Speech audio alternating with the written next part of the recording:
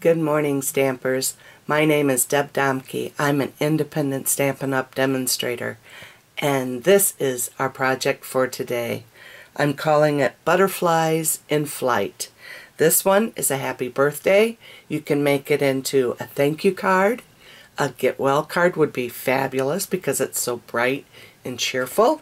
Let me back you out now and we can get started on our card. I just fell in love. I love butterflies. A lot of people really do like butterflies too. We're going to be using our Birthday Blossoms stamp set. This is in our annual catalog. And the Papillon Potpourri stamp set with our butterflies, also in our annual catalog. and you might want to consider getting them now. Um, I'm not sure if they are going to be on our retired list next month because we have a new catalog that does come out in June. So keep an eye out on the retired list. I'll let you know. You're also going to need the Elegant Butterfly handheld punch and the Bitty Butterfly handheld punch. Those can also be purchased in the annual catalog. We're going to be using multiple stamp pads. I have Rich Razzleberry, Cucumber Crush, Tempting Turquoise, Daffodil Delight, Melon Mambo, Pumpkin Pie, and Pacific Point, all in our Brights collection. You're going to also need an envelope that you can decorate, front and back, Oh, and this is the inside of our card. Have a beautiful birthday. And I just put one butterfly in. And we're also going to be using our curvy tr corner trio punch again. We're going to use the scallops. I love it. It just makes your card more elegant.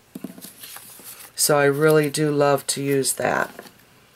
Okay, we're going to have So Saffron cardstock.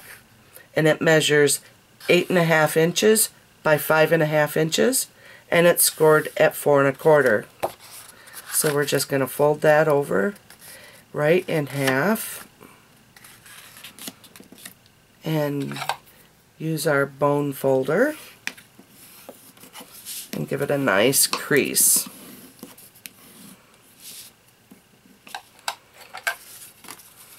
Then you're going to need two pieces of white cardstock that measure five and a quarter by four. One goes on the inside of your card and one will be stamping on the front. So before we start stamping, we need to use our corner trio punch. It has two stoppers right here on each side on whichever side you want to use of your punch. You just slide your paper in and punch. Slide it right in and make sure it's butt up against the stoppers. It's that simple to use. And it really does. It makes your cards so much more elegant. Let me get rid of this. And let's go ahead and do our front cardstock before we stamp on it. We got the punch out. Another beautiful spring day here in Indiana. I'm loving it. This afternoon I'll be out working in my flower beds, trying to get them ready for spring. And that's done. Okay, I have my stamp ready. I'm going to be putting Have a Beautiful Birthday. And I'm going to use Cucumber Crush for that. Let me get my Stampin' Scrub over here to the side ready. Spray it a few times. If you don't have a stamping scrub, you really should buy one. They're excellent. I'll do a video on them. On how to take care of it and clean it and all. Okay, Cucumber Crush. Have a beautiful birthday. This is on the inside of our card. Make sure it's nice and even. And just gently tap it. It's all inked up. And I bring mine down a little bit and make sure it's centered and lined up and gently press down. and hold it for a few seconds for the ink to get on the paper. And that should be good. Yep, very nice. Clean my stamp off and set it off to the side. Now we're done with the cucumber crush. And then we can go ahead and put it inside of our card. I like to use Tombow liquid mono adhesive. It doesn't let go of your pieces that if you put the right amount of glue on. If you just do tiny bits, I'm sure it wouldn't last. But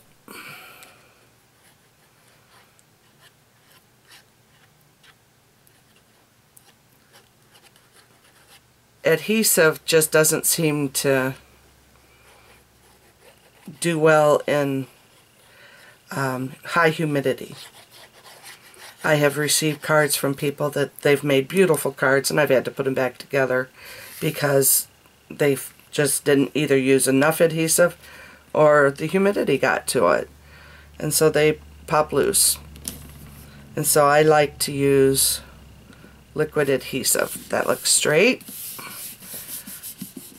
Give it a nice crease down.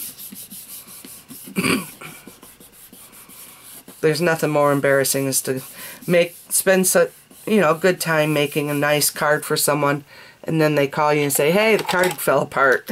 It was wasn't put together right. That's very embarrassing. Now I'm going to use Wink Stella and I'm going to highlight just the birthday in my Wink Stella just very lightly I don't want a lot just a nice little amount of glitter on it I just use the very tip of the brush and it keeps things more controlled.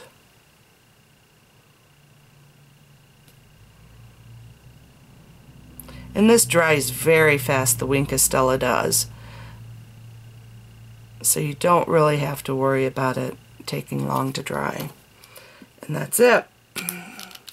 The inside of our card is now completed. So we'll set this aside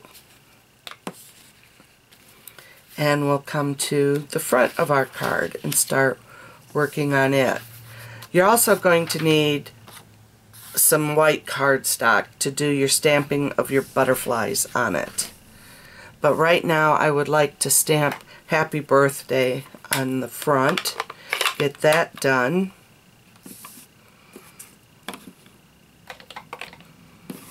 That way I can put my butterflies all over the place. Hopefully you can see that. Yep, you can. Alright, just gently tap, tap, tap. Yep, that's inked up. Make sure it's centered. Bring it down just a tad. And lined up. And hold it for just a couple seconds. There we go. Very good. Remember, if you don't get it even, you always have the back of your card you can use. But I think this looks good, so we can go with this. Alright, now some butterflies. I have the small butterfly and the larger one. And we will need our spare piece of paper or cardstock. And then we're just going to start randomly going for different colors so here is Rich Razzleberry. I'll stamp this a couple times, one in each butterfly, the large and the small. A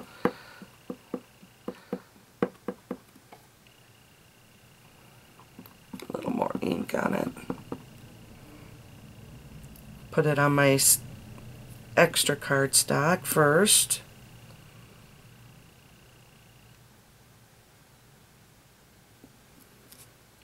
That looks good.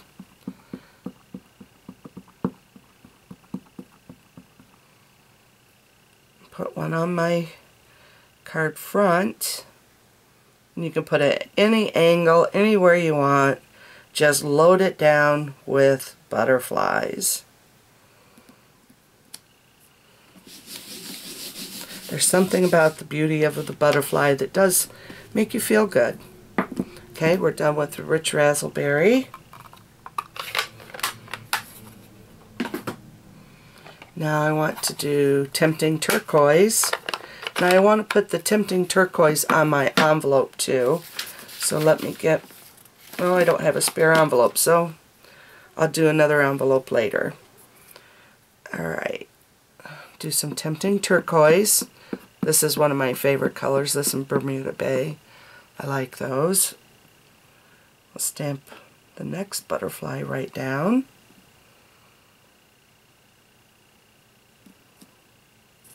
Nice image. And we'll put this one going this way off the card a little bit.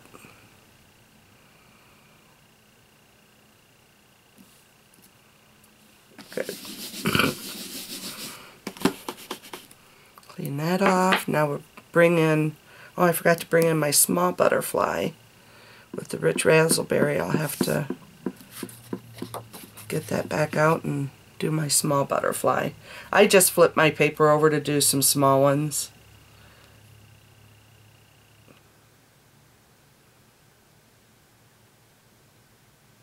And I'm not sure how many I want, so I'll do two of each of the small ones. Because the small ones you can use just to fill in your spaces that you want a butterfly. Let me get the rich razzleberry out real quick and do that in the small butterfly.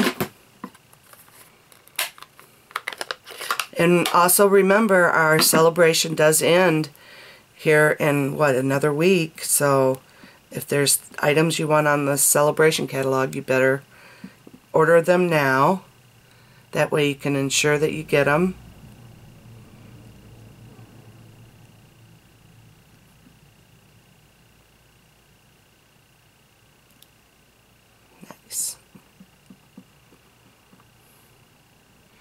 And it's also a good time to sign up as a demonstrator with Stampin' Up! because you do get extra product for your $99 of sign-up fee.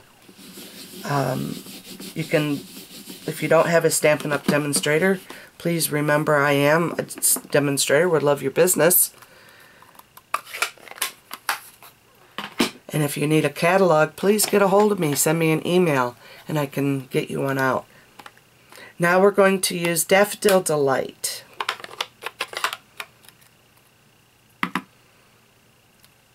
And I want to start putting some small ones in here too, I think. A few small ones.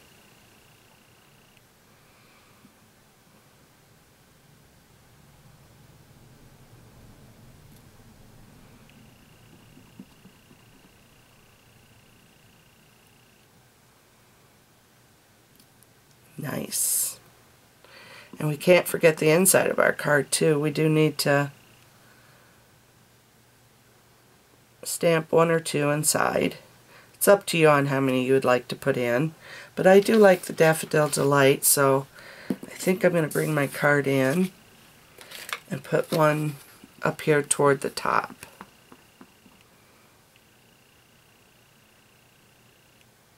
I should have stamped it before I glued it down, but I'll just have to make sure I'm very careful.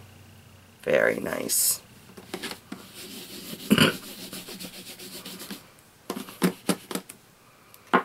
okay, I'll set that one aside. We have, oh I didn't do the large one yet.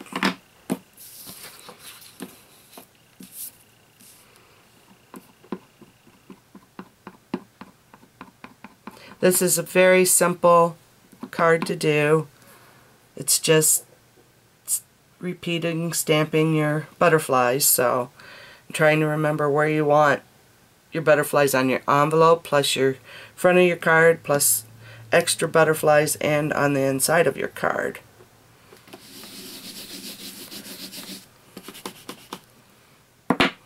But it's easy to backtrack a little bit too.